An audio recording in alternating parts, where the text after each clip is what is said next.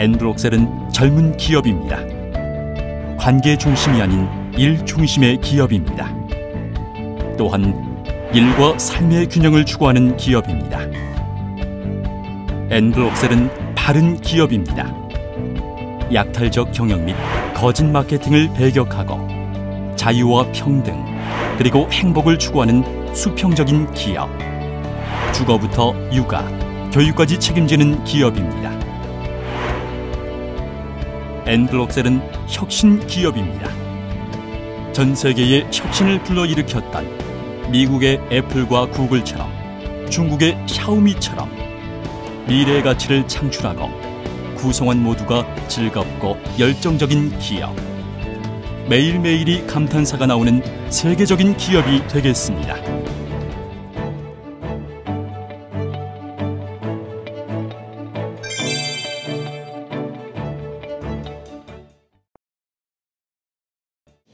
색깔이 든 인터뷰 시작하겠습니다.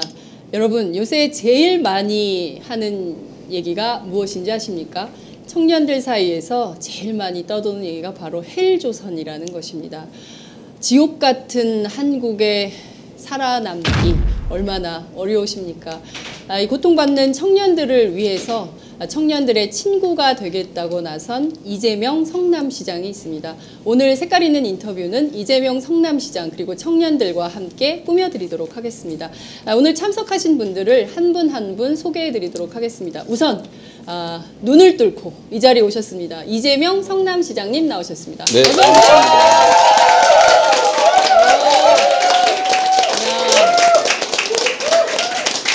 아까 시작하기도 전에 막 사진을 찍는 거예요. 깜짝 놀랐어요. 이재명 시장님의 인기가 이 정도일 줄이라고는 생각도 못했어요. 어, 잘생겼어요. 아이고 고맙습니다. 정말 잘생겼다고 생각하세요? 아, 네. 자, 차례대로 인사를 드리도록 하겠습니다. 안진걸 참여연대 협동처장님 나오셨습니다. 와.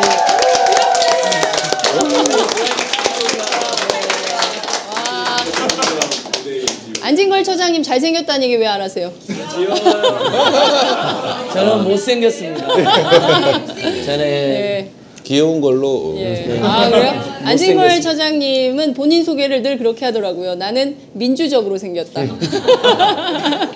네. 자, 임경지 민달팽이 유니언 위원장님 나오셨습니다. 어, 네. 가장 어, 눈부시대요. 아, 신발을 너무 잘하시네요. 네, 김민수 청년 유니언 위원장님이 나오셨습니다. 아, 정말 그 청년들과 함께 하니까 분위기가 굉장히 뜨거운 것 같습니다. 네, 그동안에 저희들이 했던 방송들은 이렇게 좌중이 뜨겁지가 않았거든요. 굉장히 좀 묵직하거나 그랬는데 역시 청년들과 함께 하니까 굉장히 분위기가 발랄하고 산뜻하게 출발을 할 수 있는 것 같습니다. 어, 이 방송은 오늘 60분간 생중계로 함께 하도록 하겠습니다. 어, 이재명 시장님 여기 오시기 전에 백남기 선생님 뵙고 여기 바로 오신 걸로 알고 있습니다. 네. 네, 많은 국민들께서 지난달 14일 열렸던 민중 총벌기 대회 때 물대포에 맞아서 쓰러지신 백 선생님의 건강에 대해서 모두 걱정하고 있는데요. 지금 상황이 어떤지 좀 설명을 해주세요. 어, 저도 뭐 직접 뵙지는 못했는데 가족들, 배책이 분들을 만났습니다. 예, 근데 아, 매우 심각한 상태라고 해요. 어, 장기 기증 뭐 이런 얘기를 나눌 정도인 것 같습니다. 어, 국가가 해야 될 제일 큰 역할이 이제 국민의 생명과 안전을 지키는 일인데 그걸 하기 위해서 우리가 어, 규칙을 만들어 복종하고 어, 세금 내고 그러고 있죠. 근데 생명을 지켜야 될 국가가 생명을 침해했죠. 어, 저는 그 직접 그, 그 사고를 당한 영상을 어, 봤는데 네. 죽으라고 쐈더라고요. 예, 그게 자체 규정상으로도 일정한 압력 이상으로 쏘면 안 된다. 네. 일정 거리 이상 유지해라. 뭐 사람 하체를 쏴라 이렇게 규정이 돼 있다는데 그 완전히 여기고 어, 맞으면 뼈가 부러질 정도의 그 강도 높은 수압으로 그냥 바로 앞에다가 대고 머리 가슴 부분을 쏴버린 거죠. 이제 뭐 뒤로 넘어져서 머리를 다치셨는데 어, 저는 살인행위다 이렇게 생각합니다. 예, 살인행위다. 국가, 네, 국가 가 생명을 지켜주는 게 아니라 어, 생명을 침탈했고 더군다나 거기에 대해서 미안하다고 말하지 않는 거. 어쨌든 국민이 사고로 죽어도 미안하다고 해야 될 판인데 어, 국가에 고용된 경찰 공무원이 하여튼 과도한 행위로 국민이 저렇게 생사를 헤맸는데 유감이다 뭐, 뭐 이런 얘기조차 제대로 하지 않는 거 네. 보면 저는 뭐 예, 국가의 역할을 자체를 포기한 거 아니냐 윤리 도덕적으로 보면 이미 무정부다 저는 그렇게 생각합니다. 어, 지금 뭐 오늘 시작부터 발언 수위가 상당히 예, 높습니다. 이것은 국가가 저 원래 그래요. 아, 많은 국민들이 비슷한 감정을 느끼고 있을 것 같은데 오늘 같은 자리에 계시다 오셨어요 안진걸 처장님. 아, 예, 저 우리 이재명 시장님 여기 늦으실까봐 네. 제가 서울대 병원에 가서 아 모시고 오신 거예요? 예, 그 아, 저도 그 병문안도 하고 싶고 네. 또 성남 촌 분이시기 때문에 서울직이 모를까봐. 예, 서울지리 헤매실까봐 제가 네. 모시지 않았습니다. 예. 크게 도움이 됐어요. 예, 서울대 후문으로 해서 오면 빠르다. 굉장한 고급 정보 누구나 아는 정보인데 그렇게 해서 모시고 왔습니다. 네. 여기, 여기 참여연대 사무실이기 때문에 네. 이제 아주 저희가 지금 이 녹음하고 있는 이 장소는 참여연대 카페 통인 입니다. 예. 예. 여러분 많은 애용 부탁드리고요. 아, 예. 혹시 해외에 머무르시다가 고국에 방문하시면 카페 통인 꼭 들러주시기 바랍니다. 자, 저희가 그 사실 청년들이 앓고 있는 이슈가 너무 많아서 사실은 오늘 이 자리를 마련했습니다. 어, 특히 이 얘기를 안 할 수가 없어서 여기 잠깐 하고 넘어가야 될 것 같은데요.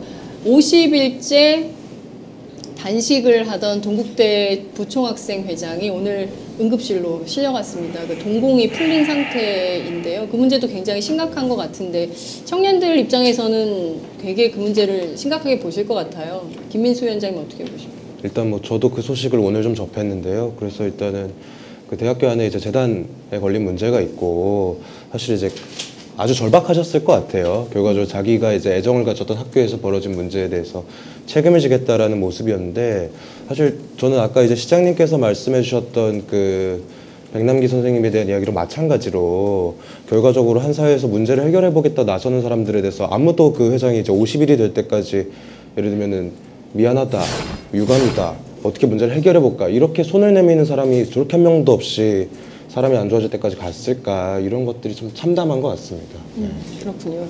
민경지 위원장님 어떻게 보세요? 어 이제 오늘 그 부총학생회장이 쓰러지시고 병원에 가서 이제 뭐 친구들이 괜찮냐 이렇게 하더니 이제 그 부총학생회장님이 뭐 사람들이 많이 모여 있냐 그랬더니 그렇다라고 하니까 뭐 잘 됐다 이런 말을 했대요. 그래서 사실 어쨌든 그 문제를 해결하는 것과 동시에 혼자 내버려 두지 않도록 더 많은 사람들이 옆에 있었으면 좋겠다라는 생각과 이제 저희도 좀 더 이제 관심 있게 지켜보고 좀 할 수 있는 것들을 같이 좀 찾아나가면 좋겠다 이런 생각을 했습니다. 임경지 위원장님 눈이 촉촉히 젖으셨어요. 지금 그 제가 그 현장 취재를 갔었는데요. 어, 이 학생이 이제 너무 힘들다는 거예요. 정말 이런 말 하면 안 되는데 육체적으로 너무 힘들어요 하면서 눈물 한 방울 이렇게 쭉 흐르더라고요. 그러면서 지금 제일 힘든 게 뭐냐 그렇게 물었더니 어, 할 수 있는 게 이것밖에 없어서 너무 분하다 이런 얘기를 하더라고요. 어른들이 어른들의 탐욕이 학생들을 50일이나 굶게 만들고 또 지금 그 헬조선을 만들어 놓고 지금 어른들이 아, 고개를 들고 하늘을 볼 수 있는 것인가 이런 생각이 좀 들기도 하는데요. 어, 하도 현안들이 많아서 앞에 현안 좀 짚어보고 좀 본격적으로 얘기를 좀 들어가도록 하겠습니다. 어, 정기 국회에서 반가운 소식이 있었어요. 공공산후조리원을 드디어 설립할 수 있게 됐습니다. 네. 모자보건법 개정안이 통과가 됐는데요. 어떻게 보십니까? 어, 법은 그렇게 통과가 돼서 저도 뭐 환영한다, 어, 다행이다 뭐 이렇게 얘기를 했더니 딱 한 시간 만에 보건복지부가 입장을 냈어요. 어, 한 시간 만에. 어, 시행령 만 들어가 맞겠다. 어, 우리나라가 어, 시행령 통치 국가가 된 건 오래됐죠. 어, 원래 국회에서 법을 만들면 그 법에 의해서 행정을 하는 게 에, 사건 분립이라고 하는 민주주의의 가장 기본인데 에, 지금 박근혜 정부는 국회에서 법을 만들면 마음에 안 들면 시행령으로 바꾸고 음. 또 국회 법을 안 만들어놔도 시행령으로 법 만들고 어, 법에 어긋나는 시행령 만들어서 마음대로 하고 이게 사실은 이미 에, 긴급 조치 상황인 거죠. 긴급 자기가 조치 예, 상황. 자기가 어, 그 그 시행령 음. 령 만들고 어, 그 영에 의해서 자기가 그야말로 통치하고 행정하고 하는 게 네. 그 국가 비상사태의 긴급 조치권이거든요. 음. 예, 아버지가 했던 게 조금 어, 너무 습관이 돼서 그런지 너무 시행령을 남발해서 음. 제가 이거는 법치주의 국가가 아니라 영치주의 국가다. 상시적- 영치주의 국가다. 예. 상시적인 어, 긴급 조치 상황이다. 이제 음. 그렇군요. 역시 정말 기대를 저버리지 않았어요. 딱 한한두 시간 만에. 아 빨라요. 네. 어, 한 시간 만에. 바로 네. 시행령으로 바뀌었다. 음, 지금 시장님 말씀하시는 동안 그 청중석에서 한숨이 막 터져 나왔어요. 세상에 어머나 어떻게 어 이럴 수가 막 이제 이렇게 되는데 안진걸 처장님 어떻게 보세요? 지금 그 네, 우리 자매인데 사회복지위원회라고 있어요. 네. 사회에서 우리 간판 활동 부서인데 우리 사회복지위원회뿐만 아니라 전국에 수백 개 복지단체가 최근 가장 분노하고 있고 거의 박근혜 정부는 정부도 아니다. 그냥 우리 성남시에서 하려고 하는 어, 지역 복지 대책뿐만 아니라 뭐 오늘 주제로 나오겠지만 은 성남시의 청년배당, 서울시 뭐 청년수당, 또 뭐 공공산후조리원 또는 뭐 노인분들 아주 장수하신 노인분들에게 한 달에 한 3만 원 정도 너무 힘들게 살지 마시라고 큰 돈도 아닌데 뭐 이런 것까지 전부 다 샅샅이 뒤져가지고 못하게 폐기라고 지금 강요하고 있거든요. 네.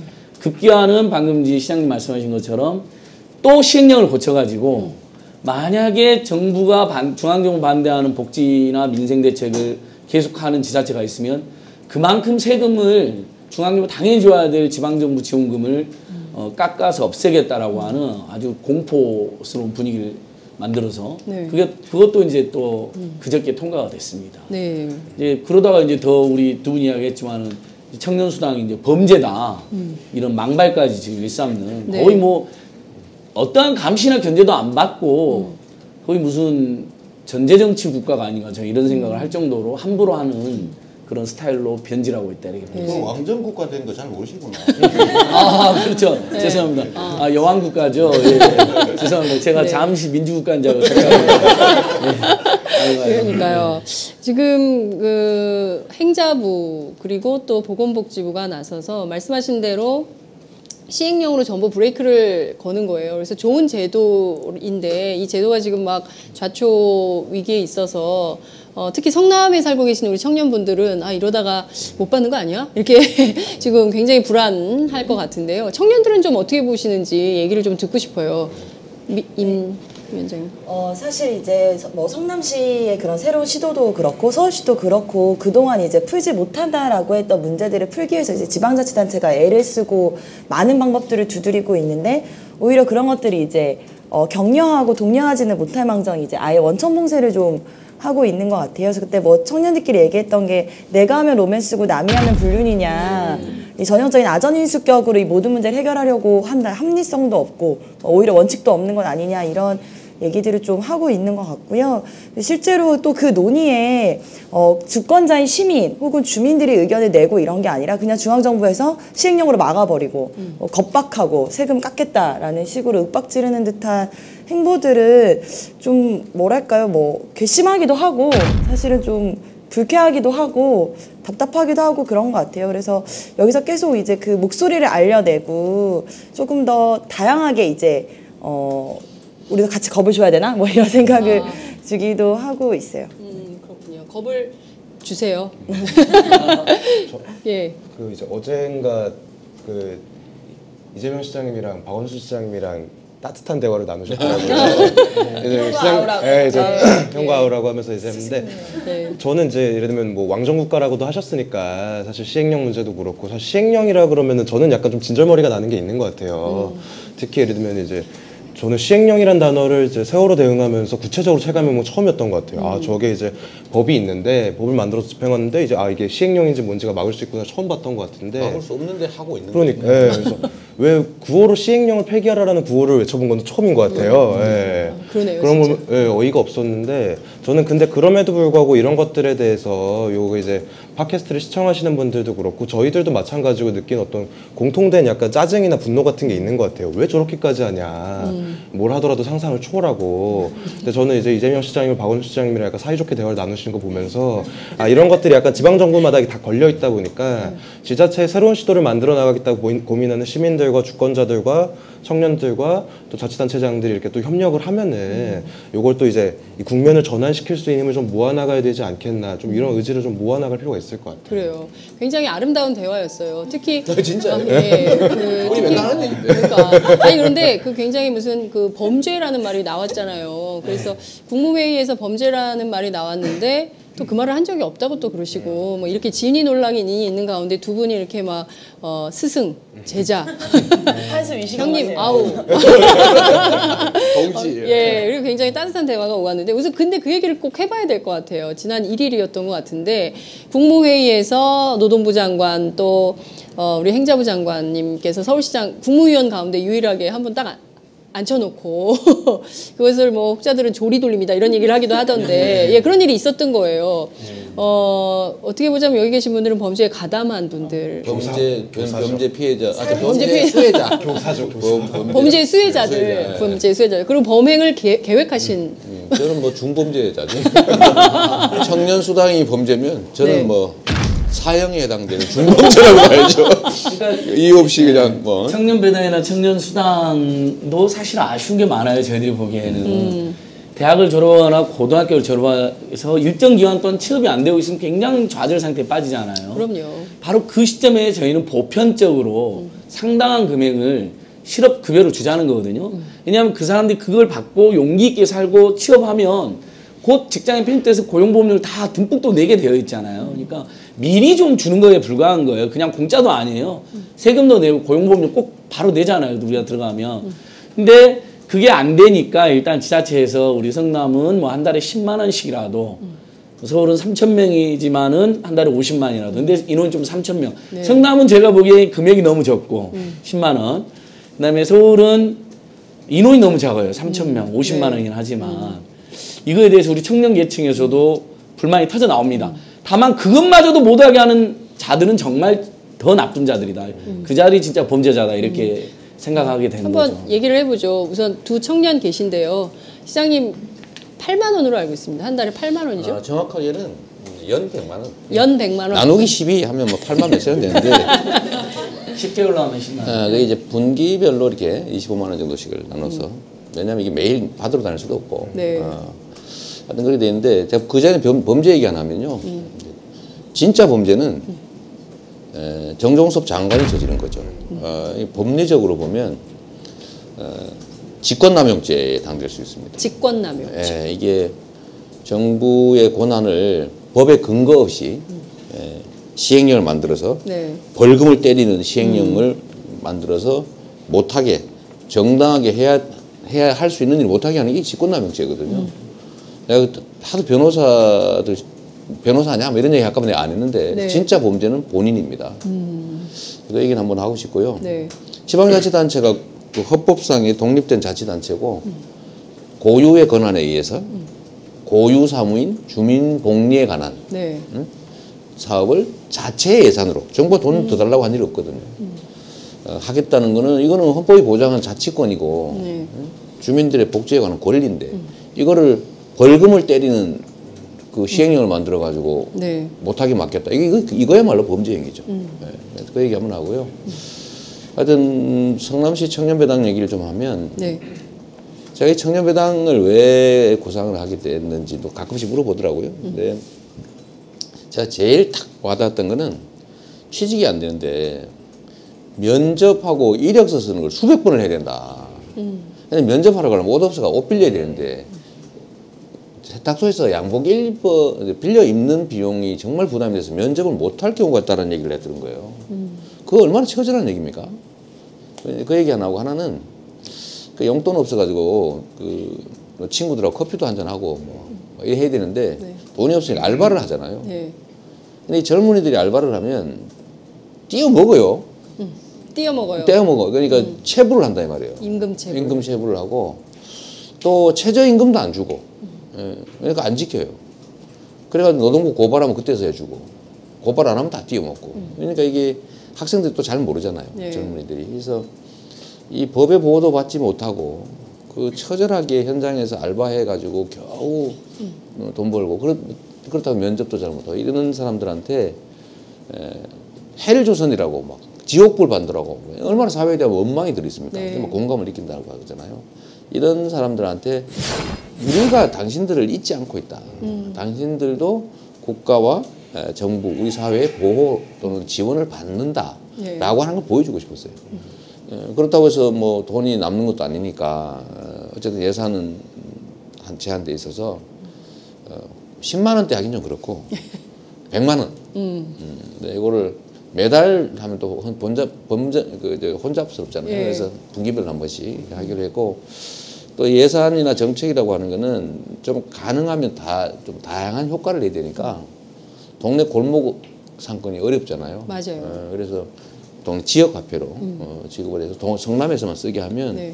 그게 소득 유발 효과가 있어요. 또. 그럼요. 어, 그래서 한 5, 60억 정도 소득이 추가 유발된대요. 어. 어, 왜냐면 여기 갖다 넘어가는 게 있으니까. 근데 에, 그렇게 해놓으면 에, 지역 경제도 좋아지고 또 비난받을 여지를 없애기 위해서 술집 무슨 뭐 어, 저런 데 있잖아요. 또 도박장, 네. 어, 키스방 이런 데 못 쓰게. 아, 에, 그러네. 못 쓰게. 왜냐하면 이제 카드를 주면서 제한하면 되거든요. 네. 체크카드 형태니까. 아. 에, 그래서 그건 충분히 다 준비를 해놨죠. 음. 저는 어, 법적 근거도 다 마련했고 네. 어, 중앙정부가 싫기는 하겠지만 음. 사회보장 기본법이라고 하는 게 국민의 복지 증진을 위해서 만들었다고 법에 써놔 있어요. 네. 증진을 하기 위해서. 어, 그리고 중복과 누락이 없으면 다 통과돼야 되는 거거든요. 그래서 어, 좀 당연히 될 거라고 봤고 네. 어, 그래서 반대하길래 때또 제가 그랬죠. 아니 뭐 지방 정부가 알아서 하겠다는 걸 왜 반대하냐? 아무런 제재 수단이 없으니까. 그래서 제가 그냥 하겠다라고 네. 했더니 긴급하게 이재명 규제법이라는 걸 만든 거죠. 이재명 규제법. 예, 네. 그러니까 이재명 방해법 이런 거 만든 건데 그게 지방교부세법 시행령이라고 하는 걸 개정을 한 거죠. 네. 근데 이게 저를 타겟을 한 거죠. 물론 박 시장도 이런 걸 했지만 네. 이게 도대체 말이 안 되는 짓인데다가 또 한 가지는 이 법이라고 하는 게 소급입법을 하면 안 되잖아요. 소급도 안 되죠. 이미 우리가 지금 하고 또 준비하고 다 예. 법령 조례까지 다 준비해놨는데 그 새로 법을 만들어 가지고 제재를 가하면 안 되잖아요. 이거 예. 소급입법 금지라고 하는 데도 예. 걸리는 거예요. 어, 길에서 담배 피지 마세요. 피면 안 됩니다라는 법이 있었다고 쳐요. 예. 근데 처벌 조항이 없었어요. 네. 그래서 아니 뭐 좀 미안하긴 한데 위반이긴 하지만 처벌 조항 없으니까 담배를 피웠어. 네. 피고 있어요. 너 저번에 담배 피웠어. 그러니까 앞으로는 벌금 5만 원 해놓고는 전에 담배 피웠지. 어, 5만 원 이렇게 하는 거하고 똑같아요. 예. 어, 그 법을 만들어 시행한 후에만 적용돼요. 음. 이것도 법치주의에 어긋나는 네. 에, 그런 그 지금 시도라서 제가 아까 말씀드렸던 것처럼 어, 정말 합리화 상식을 잃어버렸을 뿐만 아니라 이 우리 최소한의 약속, 음. 네. 어, 법적 질서라고 하는 거다 근본에서 아주 파괴하고 있습니다. 진짜 심각해요. 시장님 말씀을 쭉 들어보니까 진정한 범법 제한은 따로 있다. 최고의 범법 집단이죠. 그러네요. 지금 범법 행위를 아주 일목요연하게 정리를 너무 잘 해주신 것 같습니다. 어, 지금 말씀하신 내용을 들어보면 이거 그냥 넘길 수가 없을 것 같은데 예컨대 지금 상황에서 행자부가요. 어, 계속 이거 하겠다고 하면 지방교부세 끊겠다. 안 줘. 뭐 이렇게 한다는 거 아니에요? 그 예산이 113억 정도 된다고. 그러니까 어, 우리가 그 자기들이 싫은데 네. 일방적으로 강행하면 음. 그 강행하는 예산액만큼을 법적으로 배분하게 돼 있는 네. 아까 지원금이 지원금 아닙니다. 네. 배분하게 돼 있는 게 있어요. 네, 법에 배분하도록. 나눠 갖게.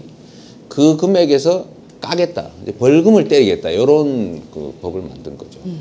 그러면 못 받게 되는 겁니까? 근데 그게 이제 문제가 있는데 네. 저는 그게 위 위헌 위법 위헌. 무효다. 음. 왜냐하면 그 상위법에 근거가 없고요. 네. 어, 왜냐면 무슨 세금을 거두면 어, 자치단체 얼마, 지방 중앙 지방 중앙 정부 얼마 각 각계 법에 딱 정해져 있어요. 예. 임의로 주는 게 아니고 딱 얼마 이렇게 정해져 있는데 몇 네. 프로 몇 프로 정해져 네. 있는데 이건 법으로 정한 거잖아요. 예. 그럼 이거를 안 주려면 법적 근거가 있어야 되잖아요. 그렇죠. 근데 그 근거가 없어요. 네. 근데 시행령이 만든 거예요. 그거 안 줘도 된다고. 그러니까 법을 뜯어 고쳐버린 거예요. 시행령으로. 와. 그러니까 이게 이제 법치주의를 이걸 근데 성남시가 소송이라도 해야 돼. 소송해야죠. 하실 겁니까? 그래서 어, 물론 당연하죠. 제가 원래 고소고발 좋아하잖아요. 이미 이미, 이미 한 건은 저희랑 참여했는데 아. 사회복지원회랑 같이 일방적으로 해제라고 시킨 고란 경우를 하고 있고 고란쟁이 심판 청구를 하나 해놨죠. 네. 그 시행령으로 성남시가 뭔 시행을 했을 때 네. 깎는 거는 지금 당장은 아니고 네. 한참 후죠. 음. 한참 후니까 그때는 소송을 지금 예상하고 네. 강행하는 거를 일부는 또 고려하고 있습니다. 음, 그렇군요. 일단 그래도 그 내년 1월 1일부터 어, 분기별로 25만 원. 요 짭짤하거든요. 청년들 입장에서 그렇죠. 그러니까요. 기득권자들 입장에서는 뭐, 뭐 그런 푼돈을 주느냐 네. 이런 얘기가 나오는데 그까짓 거뭐 이럴 수 있지만 어, 당사자들은 아니죠. 진짜 아니죠. 예. 25만 원 벌기 엄청 힘들어요. 그러니까요. 이게 꼭 와야 돼요. 알바의 신들 와 계시니까. 알바의 신 알바의 신들께서. 좀. 자 우선 그 네. 저 성남시에서 이렇게 한 금액이 좀 짜죠. 어떻게 보세요? 일단은 뭐 금액이 작고 많음은 직접 판단하는 게 아니라 저는 아까 이게 이제 저는 이재명 시장이 말씀하신 것 중에 신뢰의 종잣돈 같은 거다라고 말씀하신 거잖아요. 그러니까 이제 어떤 이 예를 들면 어떤 사회 존재를 잊고 살면서 혼자 개별화된 청년들이 어떤 이 사회를 신뢰할 수 있는 어떤 중간 매개 같은 거죠. 저는 그 돈이 뭐 푼돈이다 아니다를 판단하는 건 결국 그걸 받아 그 어떤 보장을 받는 시민들이 판단할 몫이라고 생각을 해요. 서울시의 정책도 마찬가지고. 근데 이제 어제 일단은 저도 그렇고 여기 임경재 위원장도 그렇고 안진걸 처장님도 그렇고 그 범죄 발언 이랑 최근에 이런 어떤 지방교부세 논란에 대해서 공동으로 기자회견을 했어요. 네. 그래서 저는 기자회견 관련된 이야기는 좀 해- 같이 해주시면은 청취자분들 좀 이해가 좋으실 것 같은데 저는 이제 청년 배당 이야기를 하셨으니까 서울시 고민을 조금 말씀을 드리면은 성남시는 이제 이렇게 쭉 펼쳐가지고 10만 원 이제 한 분기당 25만 원?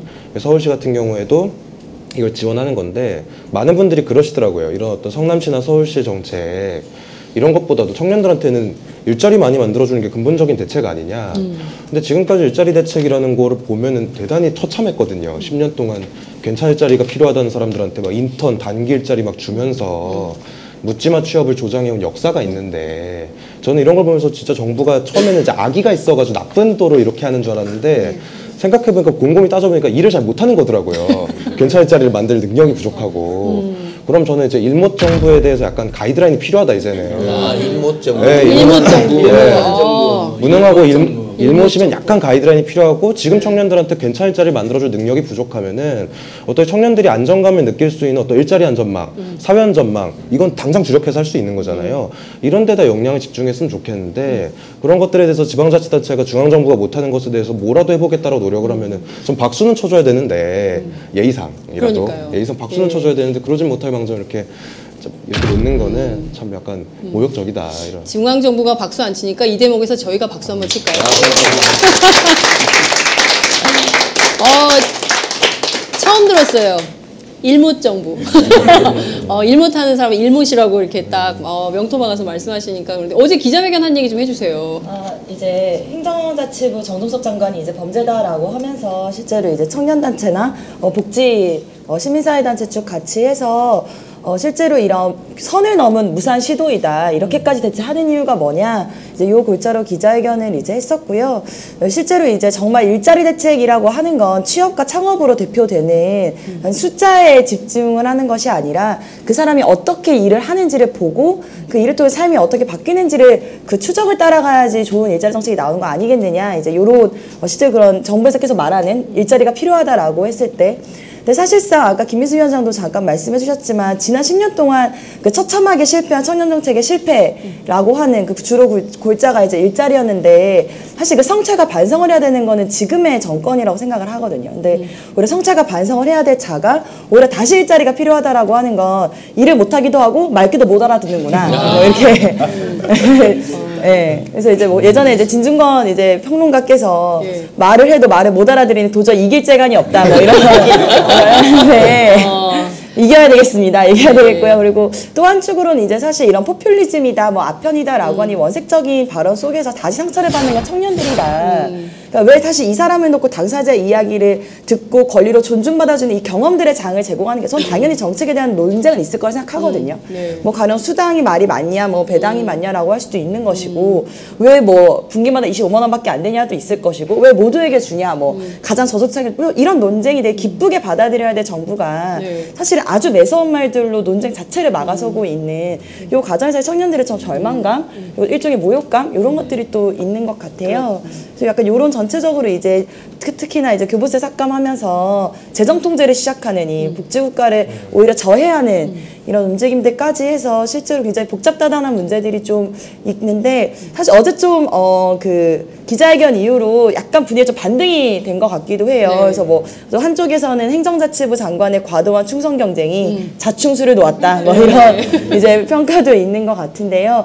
어, 다시 좀 제자리를 논쟁 자체를 제자리를 다시 잡아야 된다. 약간 이런 생각이 들고 저는 약간 개인적으로 좀 안타까운 게 이제 제가 주거 운동을 하고 있기도 합니다만 사실 서울시도 그렇고 수당만 전부는 아니거든요. 사실 네. 수당이란 정책은 이, 어, 정책 이름이 수당이 아닙니다. 청년활동 지원이라고 하죠. 수당은 보통 수급권이 이제 획득했을 때 보편적으로 주는 거지만 서울시는 어쨌든 선정의 절차를 갖게 되니까요. 네. 서울 청년 정책에 주목을 했던 이유는 그동안 일자리로 풀이되지 않은 어려움들이 분명히 있었고 공백이 있었고 그게 주거든 뭐 교육이든 문화든 참여든 약간 다양한 게 있었다. 그래서 사실 서울시에 5천억 정도 규모 중에 2,500억이 이제 주거 관련한 예산입니다. 사실 네. 주거가 이제 좀 까이거나 일적으로 긴장을 하고 있었는데 논란이 1도 되지 않고 언급조차 되지 않아 다시 또 듣보잡이 되고 있는 이런 좀 안타까운 이제 저희 사실 막 되게 아 이제 주거가 뭐 청년들에게 음, 특화해서 공급하니까 뭐 더 논란이 많겠고 막 준비를 하고 있었어요. 막 이런 논리는 이렇게 해야지 이랬는데 신문에 언급조차 되지 않고 있어서 근데 실제 약간 이런 것처럼 단순히 주거뿐만 아니라 그만큼 삶의 어려움들이 들리지 않았던 목소리들이 있었던 것 같아서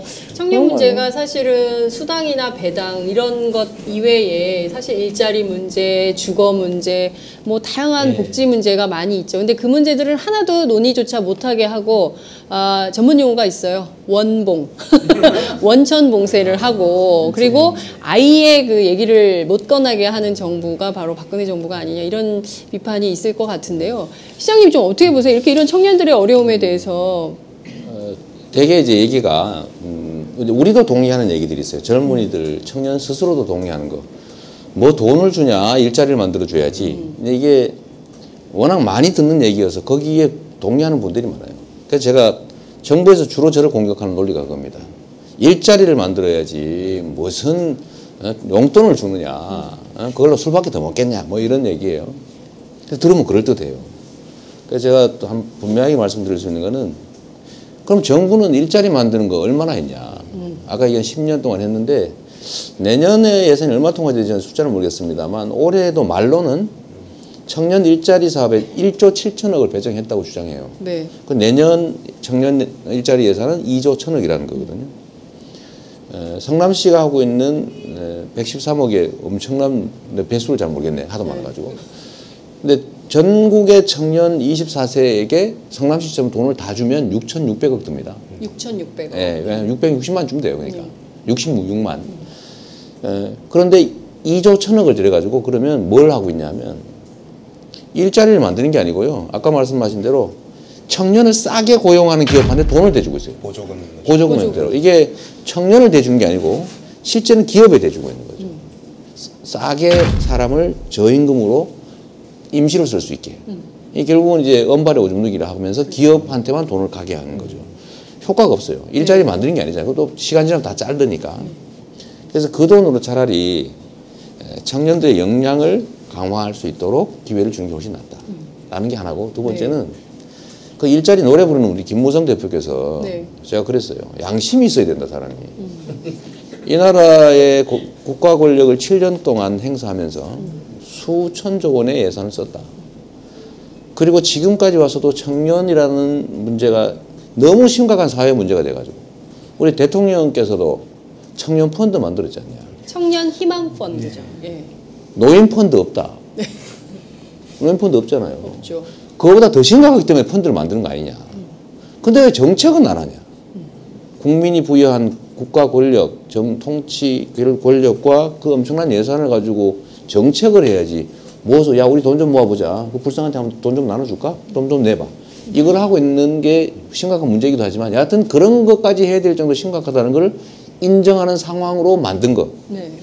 우리 오늘날 청년 세대를 이런 사회적 보호가 필요할 만큼 취약계층으로 만든 거는 다 국가 정책을 잘못해서 그런 거다. 왜냐, 에, 노동시장 유연화, 뭐 친기업 정책 이러면서 젊은 사람을 데려다가 교육시켜서 쓸 필요를 느끼지 않게 만들어놨어요. 개똥밭에 뒹굴다가 생 고생해가지고 겨우 부려먹으려면 하고 돈몇 푼 더 주고 데려갔다 쭉 쓰다 버려버리면 되거든요. 이렇게 만들었기 때문에 청년 문제가 청년 고용 문제가 심각한데 그에 대해서 산업 경제 정책, 노동 정책을 바꿔서 대책을 세우든지 네. 그거 할 수 있는 일이니까. 아니면 재정 지원을 한다면 이때까지 퍼부어도 퍼부어도 되지도 않았던 청년 무슨 실업 대책이나 이런 거 하지 말고 차라리 성남시가 하는 거 도와주지 못할 망정 야 그거 잘 되나? 혹시 하면서 보고 기다리라도 줘라. 내가 이렇게 얘기했죠. 예. 일자리를 지방자치단체가 어떻게 만듭니까 기업 오라고 하면 옵니까 제가 대통령들이 당선되고 난 다음에 그 하는 행동 중에 제일 황당한 행동이 하나 있습니다 네. 어떤 겁니까? 당선이 되면 네. 기업 총수들을 만나가지고 재벌 총수들을 만나서 투자해 주세요라고 부탁하는 거예요. 아, 맞아요. 그럼 기업들이 아 대통령이 부탁하니까 투자해야지. 야 돈 3조 써. 돈 안 됩니다. 아, 그냥 써. 5조. 하겠습니까? 돈이 되면 하지 말래도 해요. 돈이 안 되면 아버지가 빌어도 안 합니다. 그 부자 간에 싸우는 거 보세요. 그러니까요. 절대로 어, 그거 안 되는 거예요. 그 돈은 벌기 위해서 하는 거기 때문에 그렇죠. 음. 정치적으로 뭘 요구한다는 게 너무 웃기는 거죠. 그래서 일자리 만들라고 얘기하는 것 자체가 웃기는 거고 네. 일자리를 만들 수밖에 없게 산업, 경제, 고용 정책을 해서 강제해야 되는 거죠. 음. 맞습니다. 그러라고 우리가 어, 대통령. 뽑아서 세금 내고 권력. 맡기고 있는 거예요. 예. 그래서 그 사람들 보면 진짜 한심합니다. 네. 그래서 아까 일을 못 한다가 아니고요. 안 한답니다.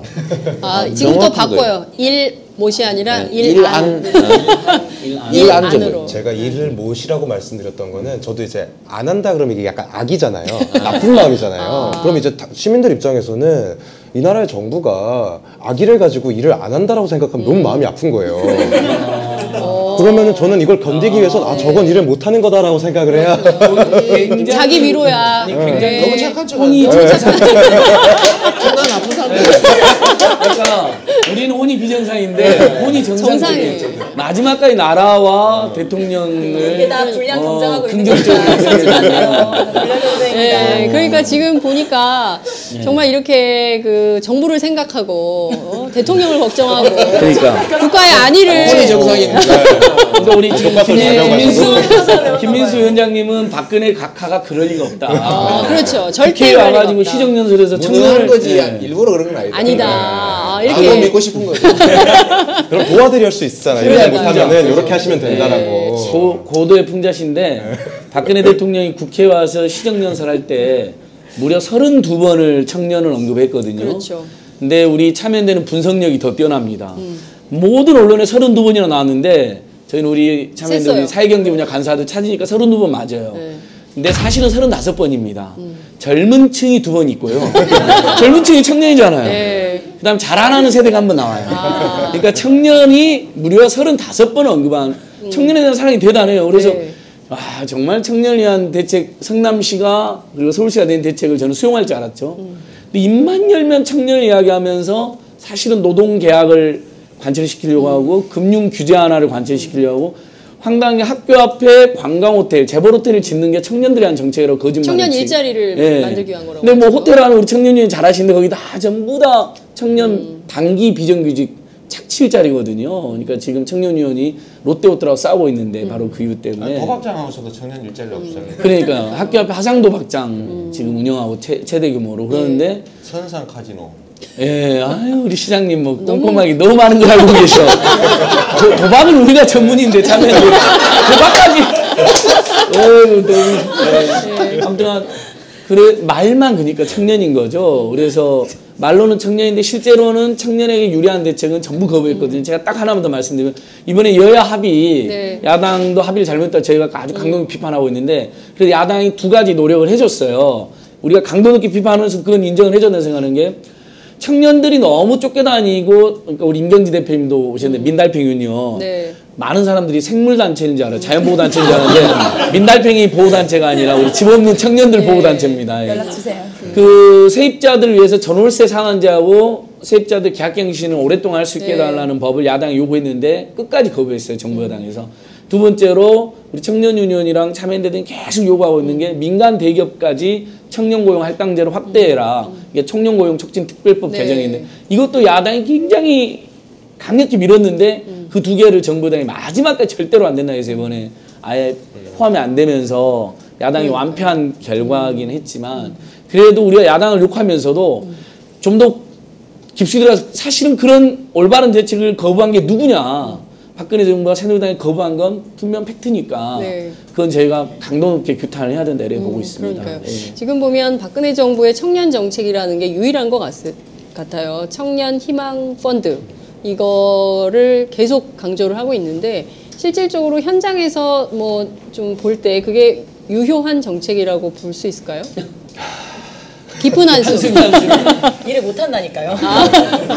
일안 하는 정부 이런 네. 듯한 요거 이제 처음에 돈이 잘 안 모였어요. 처음에 한 푼, 푼돈이 모였길래 아 이 나라의 노블리스 오블리주가 바닥을 치고 있구나. 이러다가 이제 이 저희 BH라고 그러거든요. Blue House에서 네. 이제 그 어, 기자들이 부르는 예, 그, 그룹 내에 이제 식구들 많이 만나고 이 손목도 조금 비틀고 하면서 돈이 꽤 모였어요. 그래서 지금 이제 한 천억 정도 되는데 꽤 많이 모았거든요. 근데 저는 이제 가만히 보면서 이게 정말 뭘 하겠다는 건지 하나도 모르겠다는 게 깊은 한숨이에요. 그러니까 이제 처음에 이 사업이 구상되는 시점부터 이 사업의 내용, 추진 체계, 뭘 센터를 만들겠다는데 그걸 뭘 하겠다는지 완전 미지에 쌓여 있거든요. 월급 받고 있을 겁니다. 이미 그러니까 청년희망 재단 준비분들 얼굴 받고 있어요. 벌써. 그렇군요. 아, 벌써. 청년, 정확하게 예, 찍어놨죠. 청년들한테는 한 푼도 안 갔어요 아직도. 아, 청년 그 희망 네. 재단에 일하시는 분들. 예, 그러니까 왜 그걸 만드는 예, 우리 김민수 위원장. 아, 예.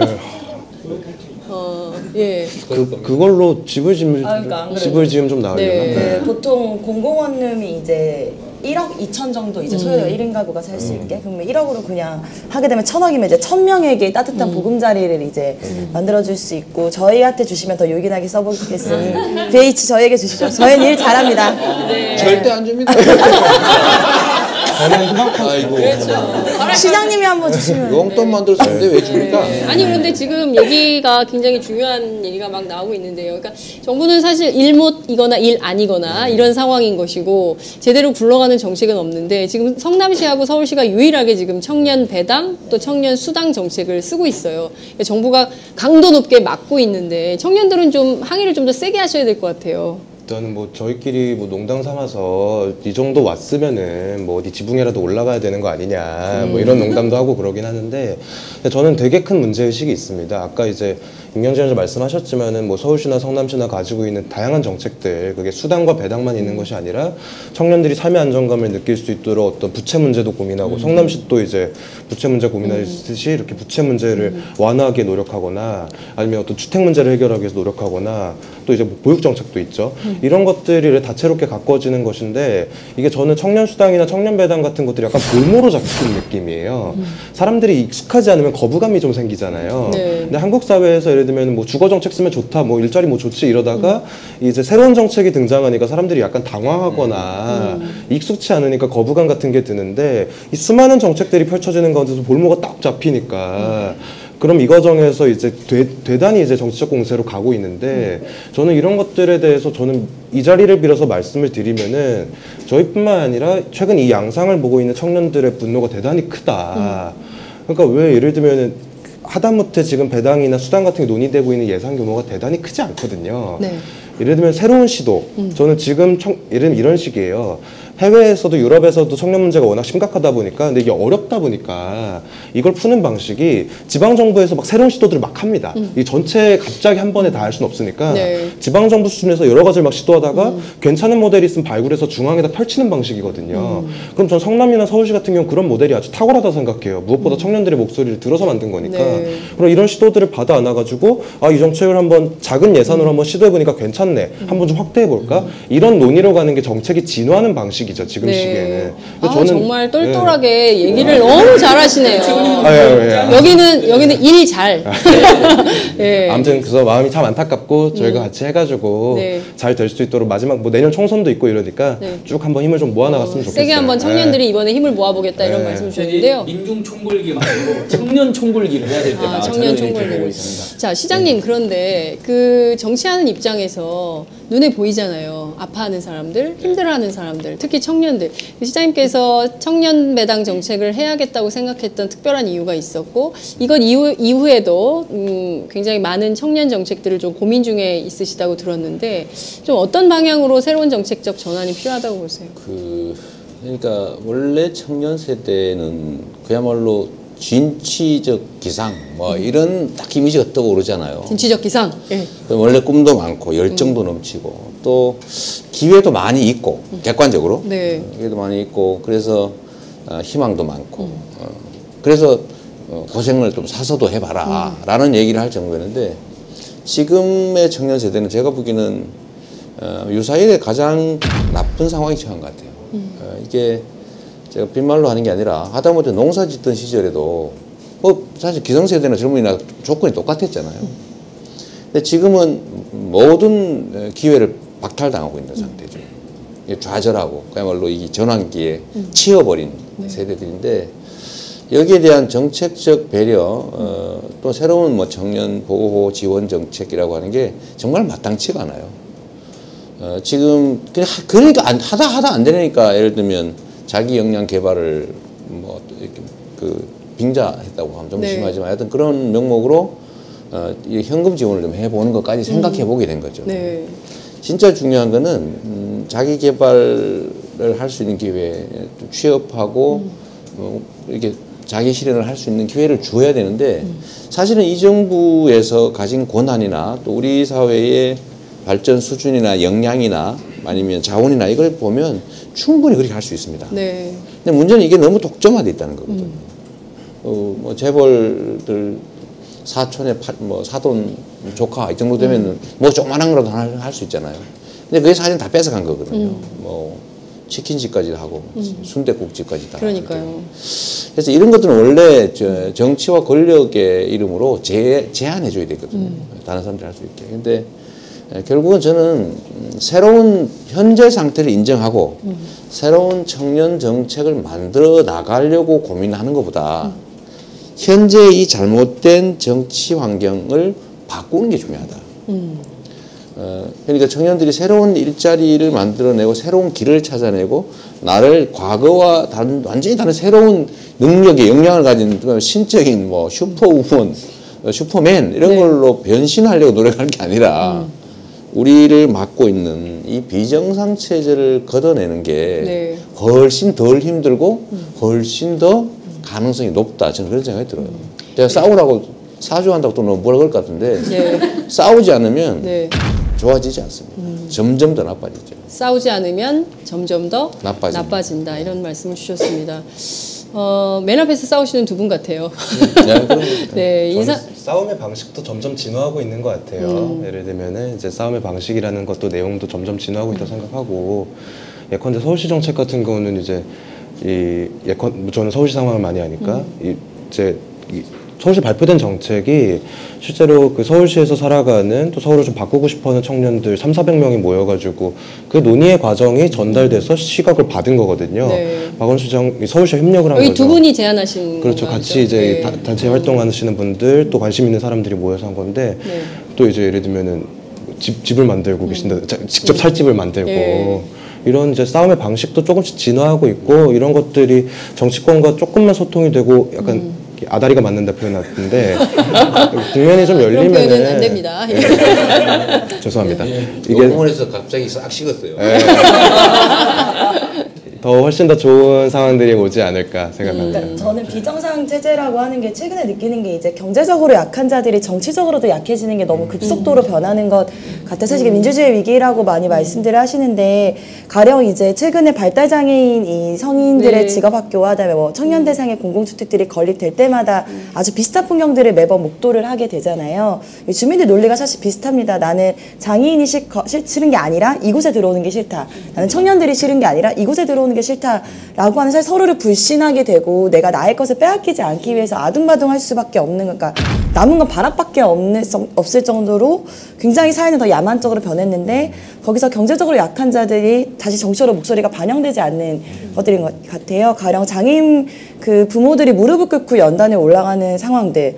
저희도 이제 뭐 그런 공공시대 설명회 가면은 사실 말을 할 수 있는 기회가 아예 주어지지가 않거든요. 말을 하고 뭐 청년입니다 이렇게 얘기하는 순간 이제 굉장히 많은 어 아픈 말들을 듣고 그냥 끝나버리는 상황들이 되는데 그런 상황에서 어떻게 싸워볼까 했을 때 예전 같은 경우는 뭐, 뭐 가령 이제 정말 청와대로 막 돌진을 할 수도 있을 거고 뭐 투표로 심판하는 것도 당연히 있겠지만 적어도 뭐 저희가 좀 하고자 하는 거는 새로운 사례들을 발굴하고 이 사례가 복제 가능하게 어떻게 만들어 나갈 것인가. 그래서 희망이 없는 시대에 희망을 만들어 나가고 희망을 전파하는 과정들이 굉장히 중요하고 그것들을 정책적으로 만들어 나, 나가는 것 그게 저는 거버넌스고 민주주의인 것 같아요 이렇게 좀 그러니까요. 복잡하다 말씀하신 대로 청년 유니언, 민달팽이 유니언 같은 단체들, 청년들이 모여 있는 단체들이죠. 이런 단체들하고 또 원래는 사실 정부가 그렇죠. 네. 어, 함께 이 정책을 받아서 어, 지혜를 모으고 어, 해결 방안을 만들고 이렇게 가야 되는 건데 중앙 정부가 안 하니까 지방 정부가 나서서 하는 건데 그마저도 지금 못하게 하는 그리고 거의 다 와 있는 단계에서 정책을 어, 없는 시행령을 만들어 가지고 아예 그걸 못하게 만든 사실 이게 진짜 원천 봉쇄 아닙니까? 이렇게 되면 뭐 손발 팔 다리 다 묶고 나면 할 수밖에 없어. 불법적 원천 봉쇄. 불법적 원천 봉쇄 이렇게 정리를 해주셨어요. 근데 이런 상황이 가- 계속 된다면 정말 어, 성남시도 답답할 것 같고 서울시도 답답할 것 같아요. 그러니까 범죄라는 말까지 나온 마당에 어떤 선택을 해야 되느냐. 굉장히 정치적으로도 고비라고 생각을 합니다. 저는 모든 상황을 놓고 그렇게 비관적으로 보지 않거든요. 아 희망을. 뭐 희망은 희망이지만 즐기려고 노력하죠. 아 제일 역시 어허 왜 이러십니까? 제가 얼마나 점잖고 어? 내가 얼마나 평화를 사랑하는데 아, 트위터에 대통령 내가 내가 얼마나 우아한 말 잘하는데 아다리가 뭡니까? 내가, 내가 그- 시장님한테 이 말씀을 들으니까 아다리 말 뭐라고 해야 돼? 맞닥뜨렸다. 예. 제가 이제 이 만약에 정부에서 막지 않았으면요. 어, 사실은 논쟁이 되지 않았을 테고, 어, 그러면 그냥 한 동네 정책으로 끝났을 거예요. 네. 근데 이 청년배당 정책에 대해서 정부가 좀 막아준 것을 전 일면은 다행이다. 네. 안 그랬으면 제가 우리 그 청년 유니언, 민달팽이 유니언 이런 분들 만났겠습니까? 그렇죠. 네. 그러니까 이게 네, 하나의 사회적 의제로 네. 그러니까 청년 문제가 매우 심각하다. 두 번째 어, 우리 사회도 이제 기본소득이라고 하는 걸 고려해야 될 정도의 단계에 왔다라고 하는 이 두 가지의 주요한 하두를 좀 이렇게 에, 던져서 이 문제에 대한 논의가 매우 활성화된 그런 효과는 분명히 있습니다. 네. 에, 저는 뭐 애초에 기대했던 효과 이상을 이미 거두고 있죠, 사실은.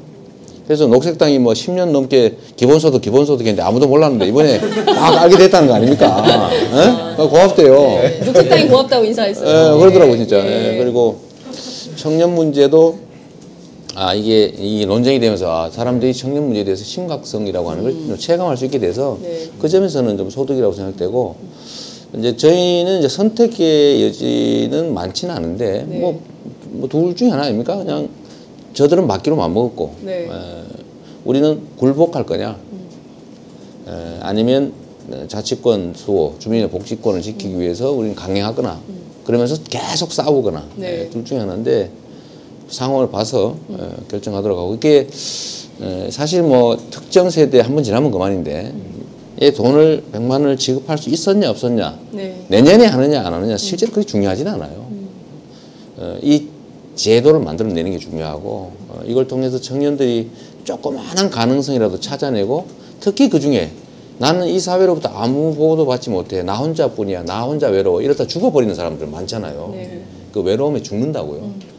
그래서 이러지 않게 아 나도 누군가가 아, 지켜보고 누군가로부터 보호받고 또 지원받고 있다 기댈 때가 조금은 있다라고 네. 생각해야 되잖아요. 네. 근데 그거라도 줄 수 있다면 어, 저는 의미가 있다고 생각해서 어, 결단을 해야 되겠는데 아, 시간이 한 달 정도 남았으니까 네. 에, 어.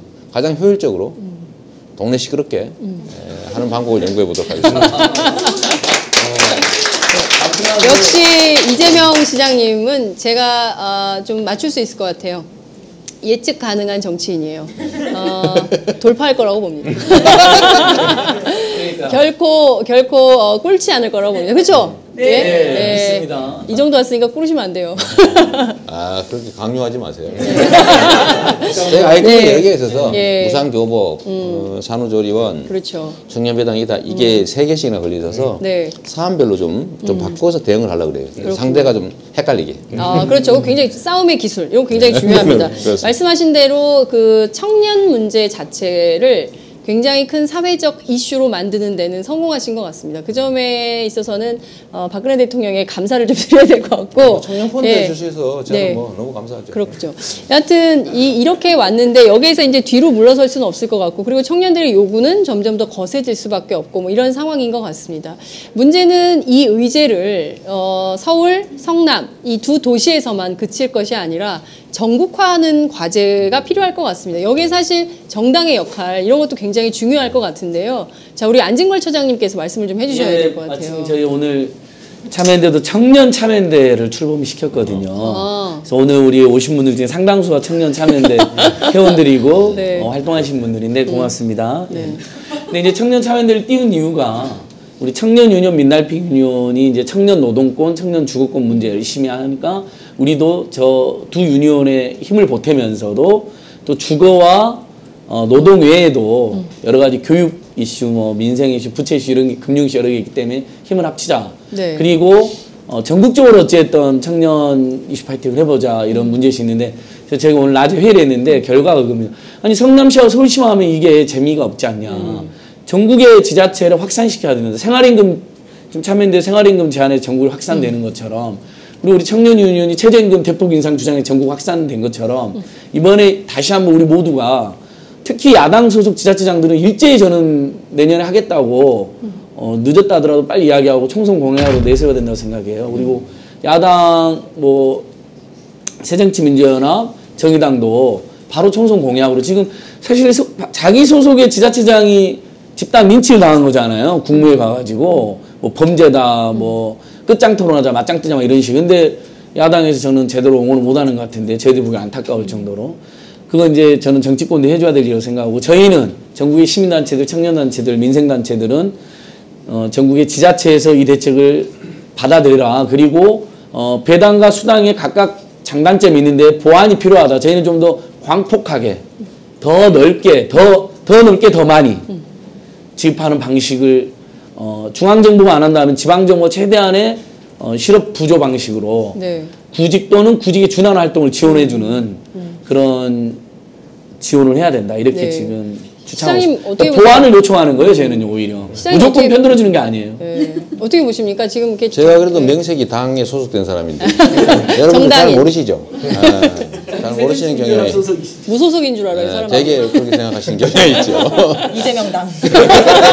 SNS 대통령. 네. SNS 아, 대통령. 어, 여하튼 그런 경향이 좀 있는데 제가 새정치민주연합 소속의 네. 음, 기초단체장이고 이번에 에, 박근혜 정부 복지 후퇴 대책위원회 제가 위원장을 맡았어요. 오, 아 당에서요? 당에, 예, 어, 당에 이제 공식- 당직을 맡으시게 당직을 되셨- 맡은 거예요, 오, 처음으로. 박수 한 번 치드릴게요. 그러니까 그, 그 당내 에, 행정자치 담당하는 국회의원, 어. 노웅래 의원하고 또 예, 보건복지 담당하는 음, 그 김용익 의원하고 이제 저하고 자치단체장 중에 저하고 네. 그래서 공동위원장 체제로 그걸 맡고 있는데 어, 박근혜 정부가 이제 자기의 복지 공약 일단 안 지켜서 네. 뭐 그런 건 원래 그러니까 이해하고 어, 문제는 기존의 복지 정책들을 중앙 정부의 복지 정책을 계속 삭감해 나가고 있거든요. 축소해 네. 나가고 있습니다. 예. 그러다가 지방 우리는 못하는데 왜 너네는 하고 있냐? 우리 안 하는 거 너 하지 마. 이래가지고 지방자치단체들이 하고 있는 복지 정책들을 포기 폐지하라고 지시했던 그 일이 한 번 있었죠. 네. 그리고 이제 그 연장선상에서 예를 네. 들면 서울시의 뭐 청년수당, 성남시 청년배당 같은 이런 새로운 음. 신규 복지 정책들을 원천적으로 맡기 시작한 거예요. 네. 근데 이게 지금 현 정부의 실태라 에, 지금 쉽게 새로운 제도를 만들어내는 건 아마 정부의 그 방해 때문에 쉽지가 않을 거예요. 그래서 어, 새정치민주연합 당의 당 차원에서 네. 전국의 소속 자치단체장들과 함께 에, 좀 새로운 복지 정책을 만들어내는 일에 특히 청년 정책에 대해서 어, 논의를 많이 하게 되- 될 겁니다. 네. 그리고 여기는 문재인 대표도 관심이 높아서 청년 문제에 대해서 뭐 전에 한번 독자적인 정책 발표도 한번 하고 하셨는데 아마 앞으로 뭐 선거도 선거지만 우리 사회 우리나라가 그 그야말로 지속이라도 하려면 네. 어, 우리나라를 미래에 이 떠받칠 그 청년 세대들한테 뭔가 기회를 만들어줘야 된다. 뭔가 이게 좌절하지 않게 쓰러지지 않게 받쳐줘야 된다는 점에 공감이 높아서 나름 당은 상당히 큰 영향을 투입하게 될 것 같아요. 문제는 방법을 잘 모른다는 거죠. 그러니까 거기는 우리 예를 들면 이 해당 지역 또 해당 영역에서 일하시는 우리 청년 단체 네. 또 청년 전문가들 예, 이런 분들이 많이 도와주셔야 돼요. 좀 밉, 좀 밉다고 이렇게 막 내두고 이러면 더 손해나니까 네. 많이 제안해 주시고 실현, 실행 가능한 정책들을 만들어 주는 게 진짜 중요합니다. 그렇죠. 하고 싶은데 못 하고 있어요. 저도 아, 마찬가지고. 거기도 일못이에요? 어, 저도 뭐 아니 아니 새정치민주연합.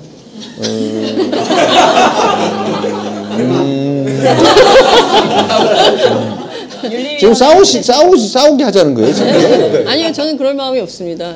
일 잘 열심히 해요. 열심히 해요. 많은 많은 청년들이 안희정 지사님은 왜 안 하냐 이거 물어보는 것 같아요. 제가 한번 저도 민감한 질문. 너무- 박원순 시장 그걸 왜 나한테 물어보는 거야? 나름 친하잖아요. 네. 친하시잖아요. 친하, 친해도 그렇지 그런 걸 물어보고. 아니 서울시 성남시 고군분투 하는데 충남도는 가만히 있는 것 같아서 이걸 물어보는 분들이 있어요. 아, 그거를 음, 청년 수당 문제는 사실 예산 부담이 크지 않기 때문에 네. 에, 일부 뭐 범위 숫자를 줄이면 되니까요. 할수 있을 텐데 청년 배당 문제는요 어, 그 쉽게 결정하기 어렵습니다. 에, 그러니까 성남시 같은 경우 는 나름 재- 재정적으로 좀 여유가 있다기보다는 어쨌든 조금 여지가 좀 있는 편이어서 막 쥐어짜고 막 세금 떼먹고 해외 간 사람 막 출국 정지 시키고 막 이런 식으로 막 쥐어짜고 어, 하던 부정 부패 이런 거 막 줄이고 뭐 관리를 하면 어쨌든 여지가 좀 생겨요. 규모도 네. 크고 하기 때문에. 근데 웬만한 다른 지방자치단체들은 그런 청년 배당 이런 것들을 실현 실험적으로 할 만한 여력이 사실 잘 안 됩니다. 그렇군요. 제가 기, 기도하는 거는요. 정부가 하라는 거예요. 그래서 제가. 보여주는 게 성남시도 하지 않냐. 옛날에 에, 똑같은 예산 가지고 전에는 빚을 수천억을 지고 있던 거 내가 빚다 갚았고 네. 어, 이제 빚 안 갚아도 되니까 내가 이런 걸 할 수 있지 않냐. 정부도 마찬가지다. 뭐 방위 예산 해먹은 거, 어, 뭐 물에 가라앉는 잠수함이나 만들고 말이죠. 예? 어, 공, 공적 혈기가 말이지 한들 떠 있지를 못해. 예? 이런 짓 하느라고 쓴 돈, 뭐 예를 들면 뭐 사대강 그 씨알데없는 짓 하느라고 얼마나 돈 버렸어요. 뭐 2조 원 주고 샀는데 200억밖에 안 하는 무슨 고- 해외 광고 사느라고 40조 원 예. 가까이 낭일렀다는 거 아닙니까? 이런 짓 한다는 것 자체가 엄청난 재정 여력이 있다는 얘기고요. 예. 그러고도 멀쩡하잖아요. 그거 안 하면 얼마나 돈이 많이. 생기겠어요. 예. 그래서 연 예산을 5%만 절감하자. 그 쓰잘데없는 거 쓰는 거 눈에 뻔히 보이잖아요. 네. 어, 이번에 보니까 무슨 대구 경북 지역의 SOC 예산이 원래 최초 계획했던 것보다 대구는 3조 몇 천억이 네, 늘어 맞습니다. 뭐 이렇게 그 여력이 있다는 거거든요. 안 하면 되잖아요. 원래 안 하기로 했던 거잖아요. 근데 에, 그런 부분들만 잘 조정해도 이 필요한 청년 정책이든 뭐든 충분히 할 수 있어요. 네. 아까 얘기했잖아요. 성남시가 하고 있는 청년 100만 원 주는 게 아마 쇼킹해서 놀래 자빠진 모양인데 네. 전국의 청년에게 다 줘도 6,600억이면 된다니까요. 아, 그 정도는 쓸 여력이 있죠. 안 대한민국이요. 들면 얼마든지. 안 그럼요. 하는 거죠. 예. 그러니까 오늘 정리가 되네요. 일 안. 일을 안 하는 걸로 이렇게 정리가 됐습니다. 아, 벌써 한 시간이 후딱 지나갔습니다. 좀 더 많은 얘기를 하고 싶고 아쉬움에 어, 어 이런 리액션 좋아요. 아 좋습니다. 이런 리액션 예, 어, 굉장히 보기 드문 방청객들이에요. 네, 네, 아주 그 태도가 아, 좋습니다. 어, 시간이 다 지나서 더 긴 얘기를 하고 싶지만 정해진 시간대로 끝내야 될 것 같은데요. 그래도 저희가 마지막으로 한 말씀씩은 꼭 들어야 될 것 같습니다. 어, 위원장님부터 하실까요? 예. 어, 제가 요즘에 응답하라 1988을 보는데 이제 제가 88년도에 태어났습니다. 아, 태어났어요? 네, 근데 이제 보면서 이제 보다가 엄청 많이 막 많이 눈물이 막 나잖아요. 그래서 이제 친구들한테 그런 얘기했더니 다들 막 남녀노소 할것 없이 막 엄청 운다 이런 얘기를 하는데 이제 그게 주는 감동이라는 게 이제 가족이 그냥 우리 가족이 아니라 옆집 뭐 반지 사실 정상적으로 반지하랑 어떻게 이집 2층 집주인이나 친할 수가 있어요. 그거 불가능한 일인데 요즘에는 그러니까 약간 잃어버렸던 서로를 돌본다라는 것, 그다음에 너와 내가 연결되어 있다라고 하는 신뢰 회복 이런 게 되게 중요한 것 같고 어쨌든 연말입니다. 그래서 따뜻하게 보내셨으면 좋겠고 또 싸울 때는 힘을 합쳐서 또 같이 싸워봤으면 좋겠습니다. 김민수 위원장. 그저 같은 경우에는 그런 건 확실해진 것 같아요. 아까 이제 안진걸 처장님도 말씀해 주셨는데 대통령이 이제 시정연설에서 32번 청년 언급하고 뭐 교과서도 청년, 뭐 노동모에도 청년, 뭐 뭐지 연금을 어떻게 해도 청년 이렇게 이제 깊은 사랑을 표현해 오셨는데 저는 최근에 이런 정책들이 논란이 되는 과정에서 한 가지는 확실해졌다. 아 이제 지난 시기 보여줬던 어떤 청년에 대한 깊은 애정과 사랑이라는 것이 사실은 실체가 불분명한 어떤 포장지였을 가능성이 높다. 이런 건 확실해진 것 같아요.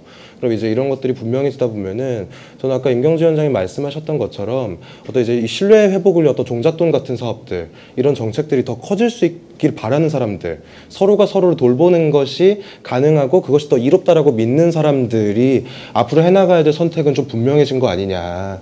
그렇기 때문에 뭐 청년 유니언도 앞으로 이제 수많은 청년 단체들과 또 애정 애정을 나눈 다른 이제 단체들과 함께 이런 문제들 깊이 고민하면서 실제로 우리가 목표로 했던 것들 달성할 수 있게 노력해야 될 것 같습니다. 네, 안진걸 차장님 하고 마지막으로. 이제 말씀드리겠습니다. 그 새누리당 이인재 의원이 우리 청년수당, 청년 배당 등에 대해서 무슨 아편이라는 그건을 일삼았는데 그 발언의 배경에는 김무성 대표를 겨냥했다는 소리가 있더라고요. 네. 어, 그러니까 굳이 다른 표현을 써도 되는데 아편이라고 써서 어, 김무성 대표의 사의를 계속 국민들이 떠올리게 이런 식으로. 굉장히 황당한 집단이라고 저는 생각하는데 여기서 저는 근데 오늘 굉장히 희망이라고 생각하는 게 청년수당, 청년배당 뭐 아쉽고 오히려 저희는 보완을 요청한다 그랬잖아요. 심지어 비판도 하고 있어요. 어떤 저희들 입장에서. 근데 그래도 이것마저도 못하게 하는 사람들이 정말 정상이냐. 맨날 입으로는 청년 이야기하면서 완전히 그게 사기라는 게 드러났다.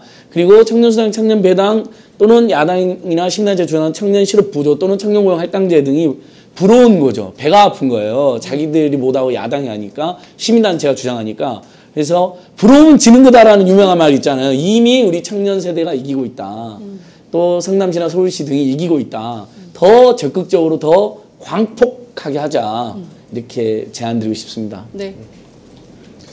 예, 뭐 답답한 생각밖에 안 들긴 한데 음, 그래도 저는 그런 생각이 있어요. 이 세상이라고 하는 거는 어, 이 악화가 양화를 구축한다고 그 악의와 욕망을 가지고 불법적 수단을 마다하지 않는 집단이 예, 대체적으로 싸움에서는 유리한 고지를 점령하고 있기 마련인데 그러나 다행인 것은 에, 그런 자들은 소수라는 거예요. 예, 이 피해를 입 고 좀 바람직한 세상, 옳은 세상이 되면 좀 혜택을 볼 사람들은 숫자가 훨씬 많다는 사실이죠.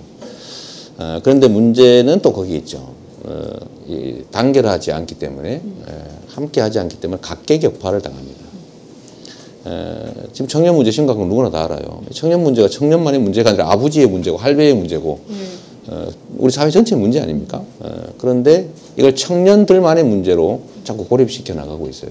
어, 뭐, 뭐 사지 멀쩡한 애들이 말이야 어, 열심히 일하면 되지 공장에 가서 일하면 되지 어? 개발 도상국 가면 한 달 만에 정신 차릴 거다 이런 말씀하시는 분도 있잖아요. 네, 그럼요. 오세훈, 오세훈. 어, 오세훈. 네. 오세훈 전 시장이 그런 얘기했죠. 어, 그렇게 말하면서 분리하고 어, 한데 즉 결국은 스스로의 삶의 조건은 스스로 싸워서 해결할 수밖에 없다. 누구도 도와주지 않는다. 아, 그리고 어, 하면 얼마든지 바꿀 수 있다. 아, 그래서 우리 지금 우리 뭐 민달팽이 저 다 진짜 이름 잘 지신 것 같아요. 그집 없는 달팽이 이런 뜻 아닙니까? 어, 집 없는 달팽이 집 갖게 하자 그러는 거고 어, 청년 유니온 음, 청년들이 실제로 청년 스스로의 문제를 저- 스스로 해결해 나가자고 해서 모인 건데 저는 이런 노력들이 조금 쌓이면 어, 무서운 존재가 될 수 있다고 생각해요. 지금 우스운 존재거든요.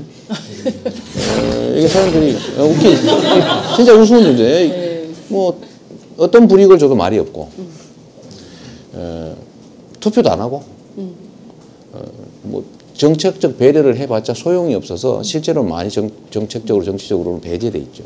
근데 이런 목소리들이 조금씩 커지면요, 그 생각한 그 이상으로 효과가 큽니다. 예를 들면 청년이 100만 명이다 그러면 그 100만 명이 다 움직일 필요 없어요. 한, 몇, 한, 이- 한 1, 2천 명만 막 난리가 나면 결국 그 하나의 정치 세력으로 인정받거든요. 네. 그래서 이런 노력들이 되게 중요하고 저는 희망이 있다고 생각합니다. 그걸 꼭 해야 될 일이고요. 우리 아들도 둘 다 청년입니다. 깝깝합니다. 깝깝합니다. 아이고 아버님 얼마나 네, 깝깝하시겠습니까? 깝깝합니다. 예, 한 집안에 한둘 정도는 청년들이 있죠. 이 청년을 둔 부모 세대는 늘 눈물로 한숨 짓는다고 합니다. 어, 장하성 교수님 경제학자신데 이런 말씀을 하셨어요. 한 개인이 아니라 한 세대 자체가 꿈을 포기했다는 것은 그 사회의 미래가 죽은 사회다 이런 말씀을 하셨습니다. 어, 한국 사회가 죽어가고 있는 거죠. 어, 죽도록 내버려둘 수 있습니까? 그럴 수는 없다고 생각합니다. 그렇다면 지금부터 이재명 씨는 뭐라고 그러셨죠? 싸워야 된다. 이런 말씀 하셨습니다. 명언이라고 생각하고요. 그 말씀을 끝으로 전하면서 오늘 방송 마무리하도록 하겠습니다. 오늘 정말 말씀 잘 들었습니다. 감사합니다. 감사합니다.